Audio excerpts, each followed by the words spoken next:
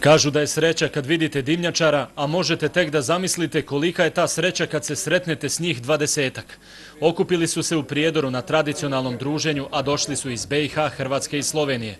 Među njima i jedna dama, jedina koja se zvanično na našim prostorima bavi dimnjačarstvom. Nije ga se odrekla nikad je dobila državni posao. Radnim danima sam vladin službenik, a vikendom uz oca opet sam dimnjačar. Obzirom da je dimnjačarstvo bilo moja prva ljubav od malih nogu, tako da do dan danas ne mogu to tek tako krenuti leđa, a živim za osmih svojih mušterija kada pokucam na vrata. Na vrata 78 registrovanih dimnjačara u BiH kucaju brojni problemi. Kažu da se s njima bore kako znaju i umiju. Valjala bi modernija oprema, ali i vraćanje zanimanja dimnjačaru škole. U tom slučaju Edin ne bi razmišljao gdje će upisati sinove.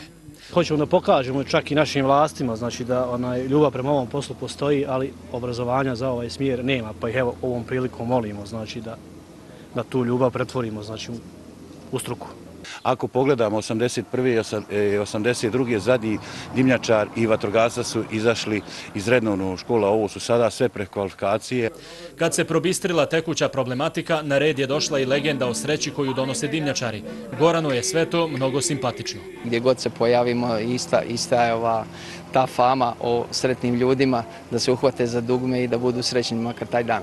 Nije to neko tek tako smislio, šale se dimnjačari i uvjeravaju da su u dugogodišnjim karijerama sigurno mnoge usrećili, pa makar im samo pročepili dimnjak. Restoran u okolini Prijedora danas je možda i najsrećnije mjesto u gradu s obzirom na to koliko se dimnjačara ovdje okupilo. I nisam nešto posebno sujevjeran, ali ovi ljudi su me uvjerili da zaista donose sreću.